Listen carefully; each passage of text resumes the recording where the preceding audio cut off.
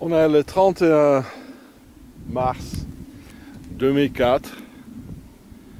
Il n'y a que de la nature, quelques vignes. Je suis euh, à l'intérieur de la campagne, à l'auteur entre Narbonne et Perpignan. Et je fais du camping sauvage. Je dérange personne. Je ne laisse pas de papier de toilette ni du plastique. Je ramène tout pas. Pardon. Il est très important donc d'en avoir une tente qui est vert. Ça se voit pas trop. Sac à dos vert ou noir. Et le sac à dos, il faut mieux en avoir un sac à dos euh, militaire parce que c'est incassable. Surtout, ça c'est le sac Bergen de l'armée anglaise. Une tente, il faut mieux l'acheter euh, dans un magasin de sport il faut un double toit, sinon euh, il y a trop de condensation euh, à l'intérieur de, de, la tente. Euh, j'ai ce petit sac là devant, comme ça je peux, ça pèse moins sur les épaules parce que l'autre sac, le grand, il pèse là-dessus sur ce truc là. Comme ça, je peux, devant euh, ma poitrine, je peux tout prendre. Il y a ma caméra dedans, des cartes, euh, des gants, euh, le bonnet, encore des lampes là, des lunettes, cuillères, etc. quelque chose pour écrire. Tout ça et de petites choses. Ça, je, je mis là-dessus moi-même pour de petites choses. Comme ça, euh, ils ne sont pas là dans le, dans le grand euh, compartiment, ni là-bas. Euh, comme ça, je, perds moins de temps de, chercher de petites choses. Là aussi, je les ai cousus là-dessus moi-même. Les arches de ma tente, ils vont à l'extérieur, là, parce qu'ils peuvent être mouillés. Ils peuvent endommager ma tente s'ils sont dans le même compartiment, parce que ça, ça peut être lourd. J'ai déjà eu des trous dans ma tente. Donc c'est un peu d'expérience que je vous transmets. Ma tente, il va dans cette grande poche à l'extérieur parce que la tente peut être euh, mouillée. Donc je ne veux pas ma tente ensemble avec mon sac de couchage et tout ça, surtout en hiver et surtout quand tu voyages euh, longtemps parce que ça ne va pas sécher. Donc là, j'ai euh, un duvet là jaune euh, il a une très bonne combinaison, euh, en hiver d'en avoir un duvet à l'extérieur et à l'intérieur encore un sac euh, artificiel. Et là, pour que ça ne devienne pas trop sale, j'ai un linge, c'est comme un sac de couchage également. Donc ça, je peux laver. Un sac de couchage, il faut jamais laver. Après, il est foutu, ça chauffe plus ni un duvet, ni un sac artificiel. J'ai le piquet également à l'extérieur. Je cousu euh, parce que j'avais bien mouillé aussi. Donc là, j'ai uniquement des vêtements là-dedans. Il ne faut pas ramener des extra vêtements. Seulement peut-être un sous-pantalon pour euh, quand il fait très froid parce que tu porteras seulement euh, ni de culottes et tout ça, parce que de chaussettes, euh, parce que tu porteras seulement des trucs euh, sales au, bout du temps.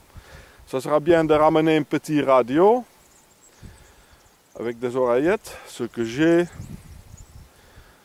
Et là aussi, j'ai encore une gourde. Toutes ces gourdes avec des tuyaux, c'est nul parce que tu as un goût du plastique il faut mieux dans le sac euh, ventral d'en avoir une, euh, petite euh, gourde qui est à l'intérieur de l'aluminium.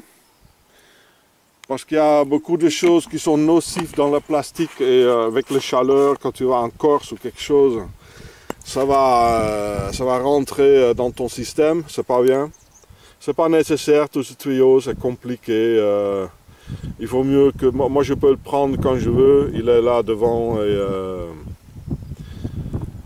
voilà. Euh, maintenant, dans cette société de contraintes, il y en a de plus en plus de gens avec de, de dépression, etc. Euh, ça devient de plus en plus une grande prison. Il y a partout de, de, de, pharaons au poste clé avec nos femmes qui collaborent à 100% avec le système, qui sont aussi qui, qui, font l'écriture et comme secrétaire. Donc la meilleure chose, c'est de ne pas prendre un social, de tout laisser euh, c'est une façon d'en avoir l'honneur. Moi, j'ai pas d'argent du tout. La société est tellement riche, il y a assez de croûte qui tombe de la table. C'est une question d'honneur. Tu prends pas un social. Et euh, tu veux pas être dépendant. Tu veux pas qu'ils ont des griffes sur toi. Parce que quand tu... Euh, donc moi, j'ai jamais eu un social dans ma vie. Hein, mais je, voyageais pendant des années et des années comme ça. Et dès le moment que tu as ton matériel, bon, tu peux aller prendre une année sabbataire au sabbatiste, je sais pas comment, comment on appelle ça. Le français, c'est pas ma langue maternelle. Donc, euh, donc ça, ce sont euh, quelques petits, euh, de petits conseils pour aller prendre la route, le camping sauvage. Un camping, de faire le camping, c'est nul. Sauf quand tu as des enfants, tu es bien obligé, mais euh, peut-être même pas. Et moi je dis toujours, je n'ai pas de problème de l'argent parce que j'en ai pas. Je suis SDF, ça veut dire euh, sans difficulté financière. Samedi, dimanche férié, toujours libre. Scout de France, SDF quoi. Ok, j'ai oublié quelque chose. Non. Donc regarde comme c'est joli. Je me suis bien... Euh, tu peux dormir euh, jusqu'à l'heure quand tu veux. Tu peux reprendre des forces. Déjà quand tu dors, quand tu dors dans un appart, il y a tellement de ondes euh, maléfiques qui sont pas bien. Déjà l'électricité, il y a trop de ondes électromagnétiques, tu peux pas bien dormir. là, quand tu dors sur, juste à côté de notre terre-mère, ça va te... Ça va te donner de la force, je te le dis. Surtout quand tu passes la nuit comme ça, enveloppé par les forces euh, telluriques de notre terre. Euh, il faut pas faire, après, il faut pas faire la méditation euh, ni de sport parce que je marche tout le temps pour faire le stop. Et euh, la méditation, c'est simplement dormir dort, comme les Indiens. Et c'est bien, ça, ça guérit. Ça guérit l'âme, ça guérit les émotions, ça guérit euh, le corps, le système. Et on, on, ne peut pas combattre le système et notre société de contraintes, mais on peut éviter et ça, c'est pas encore interdit. C'est la liberté totale. Et comme j'ai dit tout à l'heure, il y a tellement de croûtes de notre société riche qui tombent de la table. Et euh, euh, on peut vivre ça sans alcool, euh, sans café, sans drogue, sans cigarette. Ce que j'ai toujours fait. Oh là, avec l'âge, avec la, torture en Suisse, je bois un petit peu d'alcool, mais pas toujours. Et quand tu dors dors comme ça, euh, le sommeil c'est un truc tellement guérissant euh, que on n'a pas besoin de tout ça. Et voilà. Mais regarde comme c'est beau. Je vois rien là, que, que de la nature. Donc cette direction l'intérieur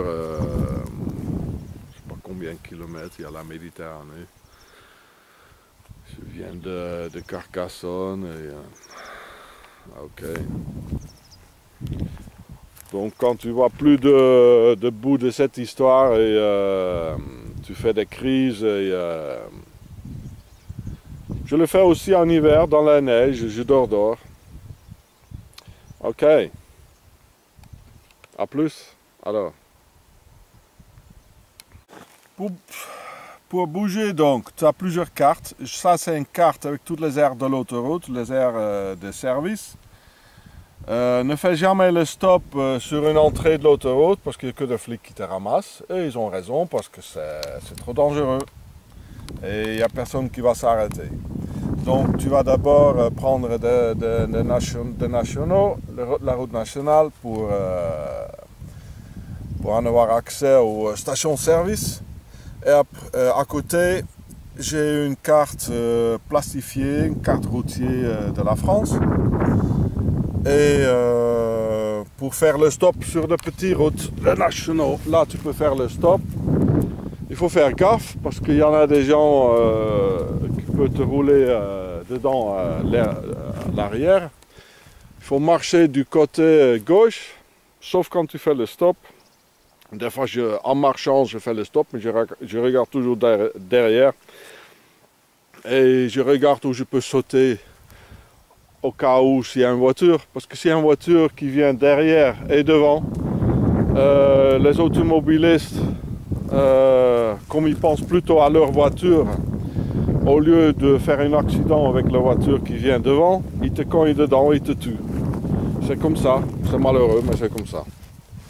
Une voiture, ça vaut beaucoup plus qu'une vie humaine. Et j'ai déjà vécu ça. Hein.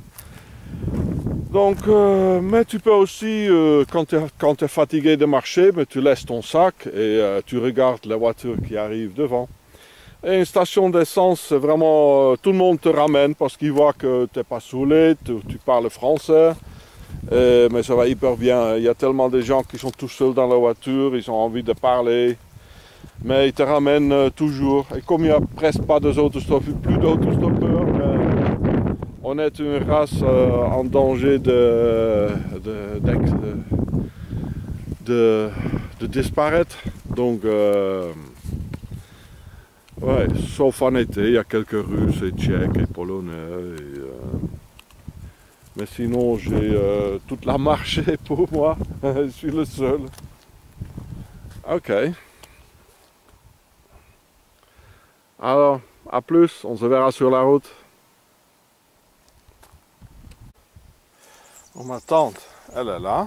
Elle va dans la poche de l'extérieur. Les arches de ma tante, ils vont là-dedans. Tout, il faut que tout soit bien rangé. Et après, en plus ça brille dans la nuit, je ne vais pas trop attirer l'attention. Après, je vais tout mettre là-dedans, à l'extérieur. Et je le, encore, je le, je l'attache avec ça, avec les sangles. Les arches là, ils vont là-dedans, ma brosse aux dents aussi.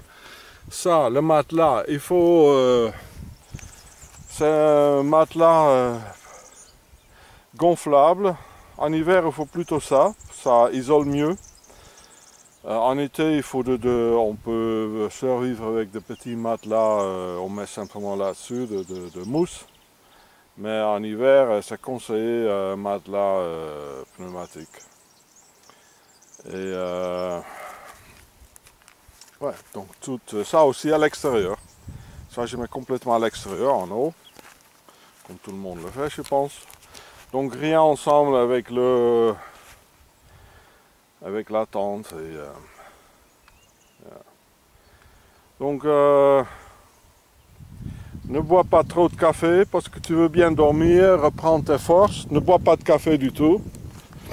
C'est ça une des, grandes raisons pour que les gens ils ont des dépressions parce que il y a une partie du cerveau qui ne va jamais pouvoir dormir. Il est toujours euh, en état d'éveil et sera complètement surstimulé tout le temps, tout le temps. Euh, et cette partie ne peut pas digérer euh, les traumatismes ni ce que tu as vu dans ta vie quotidienne sera complètement irrité et euh, tu deviens fou. Et oh, quelques gens, euh, les gens ont des dépressions parce qu'ils ont envie de dormir, ils peuvent pas. Et, euh, ils ont, ils ont le, besoin de, de digérer des choses, ils peuvent pas parce que cette partie, malgré le fait que tu dors dans la nuit, ça sera toujours en état d'éveil. Et c'est ça qui fait des de dépressions.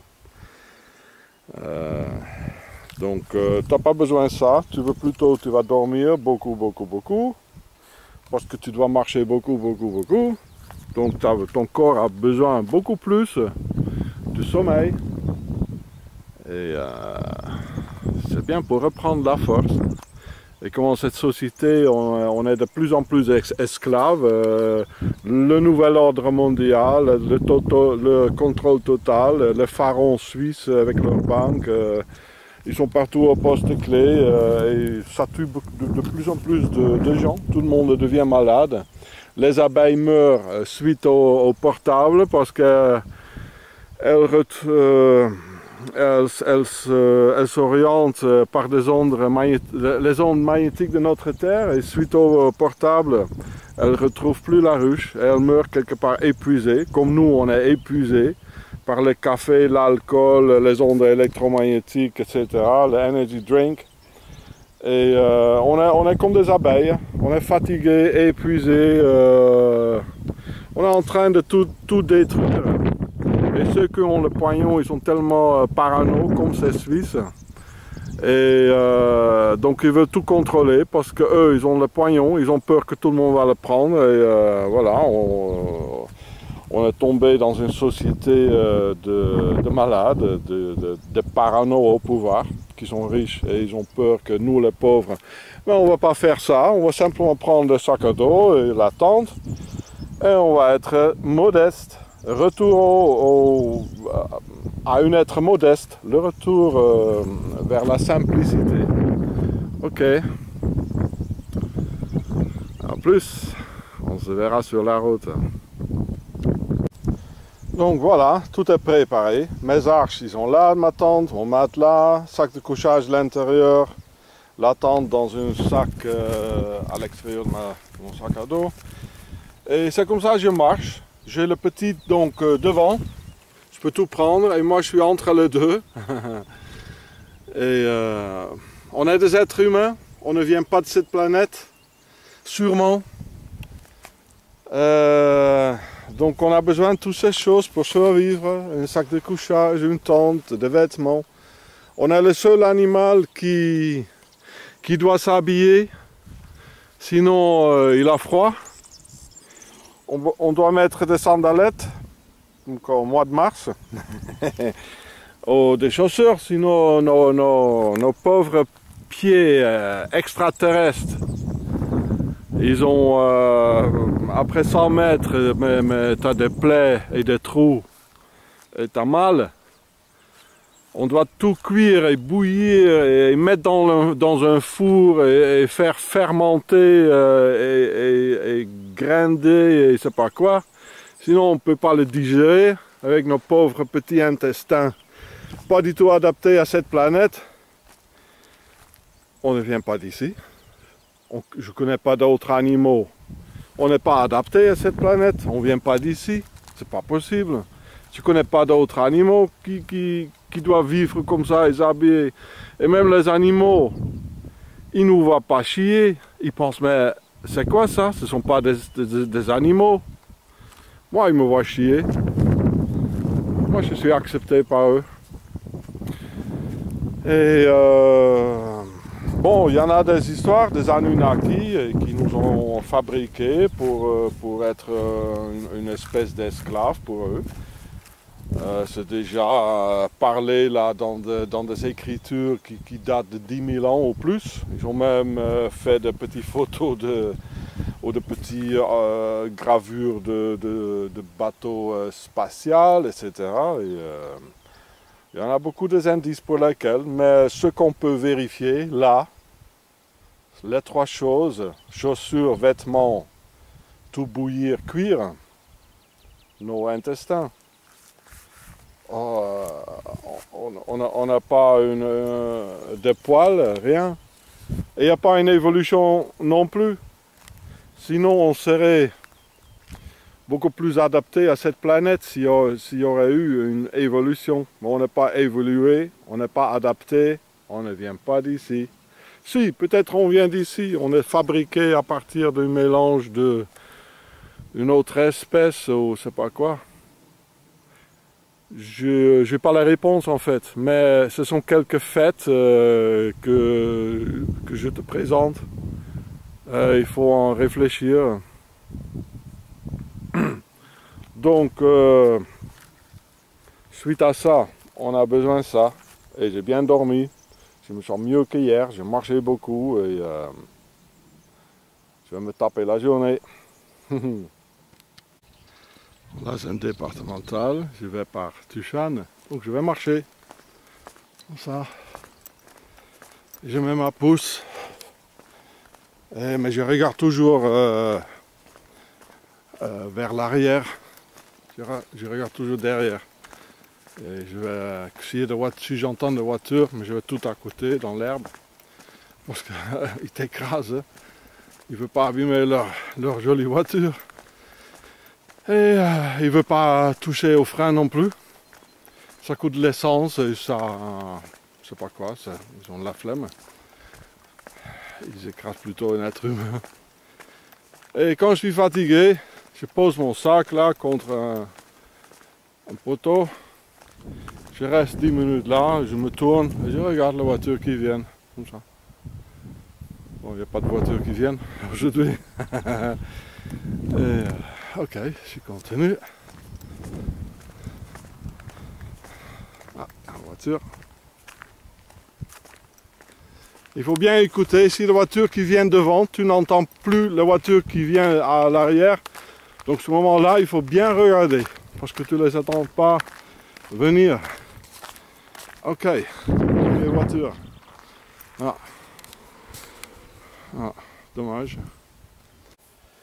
La meilleure des choses pour marcher dessus, c'est ça, les sandales. Maintenant, même maintenant, euh, mars, euh, au mois de mars, parce que surtout en été, il ne faut pas marcher dans les boîtes de montagne parce que tes pieds euh, commencent à, à transpirer, tes pieds deviennent tout mous et tu as des cloques. Après trois jours, tu n'as plus envie de marcher. Avec ça, ça reste tout sec pour aller marcher en Corse ou n'importe où en été, mais tu vas pas dans les bottes de montagne.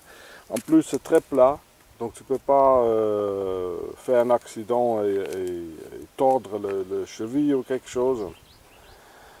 Et ça devient de plus en plus fort parce que tu peux bien euh, bouger là-dedans et remuer. En hiver, la meilleure des choses, c'est euh, simplement de chaussures de, de sport, de training. Et, euh, sauf s'il y a vraiment beaucoup de neige. Mais euh, avec les bottes, le problème c'est que ça ne respire pas et ça reste mouillé. Même si c'est pas mouillé d'or, suite à la transpiration, et ça devient... tu auras des cloques. Tandis que les chaussures de, sport, euh, les chaussures de jogging, ça, ça devient mouillé très vite, mais ça sèche très vite. Donc euh, au moins tu as de temps en temps des cheveux qui, euh, de, pieds qui sont euh, secs et pas de cloque. Ok. Donc les sandalettes, comme des Romains. Il y en a de superbes trucs maintenant avec de superbes profils et tout. Yeah. J'ai dormi là, je suis arrivé euh, la nuit, euh, la station d'essence. Le sac il est tellement lourd derrière, il faut en avoir une technique pour le mettre sur le dos. Donc j'utilise le genou, je fais comme ça, je le pousse en haut et comme ça je le mets, je me tourne et je mets sur le dos. Le plus important c'est de pouvoir bien dormir c'est plus important que de manger. Tu peux 2-3 jours sans manger, c'est un peu long, mais tu peux pas 2-3 jours euh, sans dormir. C'est vraiment le plus important. Donc je fais comme ça avec le genou, comme ça, et très vite, je me tourne avec le genou euh, gauche, et je me tourne et je les glisse sur mon dos. Ok. Là aussi quelque part, il y avait un mec qui dormait là. Des reptiliens. Ah, un autostoppeur qui n'a pas survécu. Mhm. Ok.